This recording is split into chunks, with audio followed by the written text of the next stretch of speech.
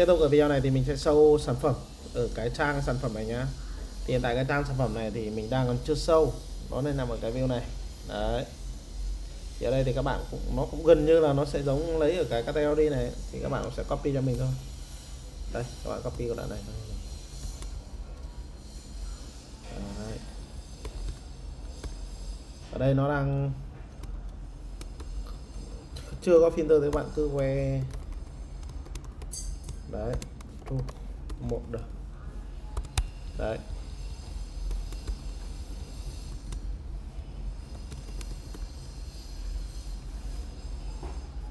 Tiếp theo là sau đấy thì các bạn sẽ, đây. Các bạn ý nhá, cái view list kia nó sẽ giống với view này, nên là các bạn tạo cho mình một cái component ở trong này.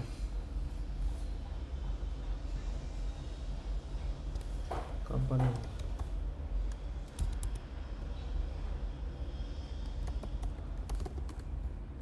item product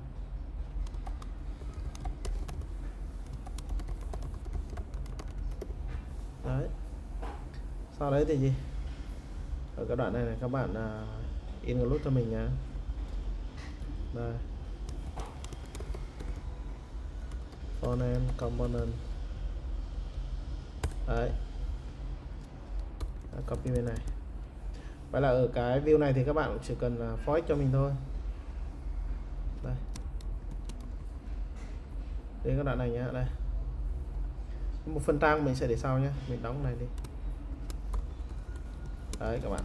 Ok, vậy là mình đã có được cái sản phẩm. Đấy. Bạn click vào nó sẽ về chi tiết. Ok.